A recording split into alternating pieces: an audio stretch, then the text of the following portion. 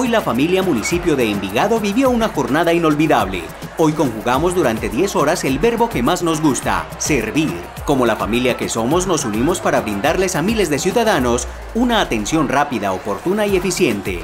Así fue la jornada maratónica de servicios institucionales a la comunidad que brindamos en este primer sábado de puertas abiertas en la alcaldía de Envigado. Me una jornada muy importante para que la ciudadanía se pueda acercar a conocer más acerca de los servicios del hospital, en nuestras Unidades de atención en los barrios y en el Hospital Malecida. Completamente exitosa, fue un acercamiento humanizado, resolutivo, una apertura muy grande tener la institucionalidad de la mano con la comunidad es la forma de progresar de manera conjunta y armónica.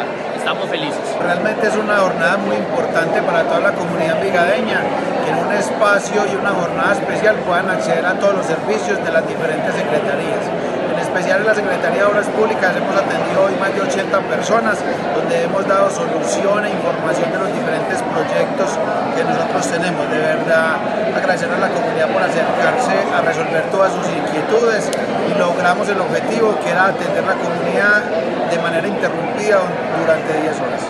Creo que hoy hemos hecho una jornada histórica en Envigado atendiendo sin pausa desde las 8 de la mañana hasta esta hora, 6 de la tarde.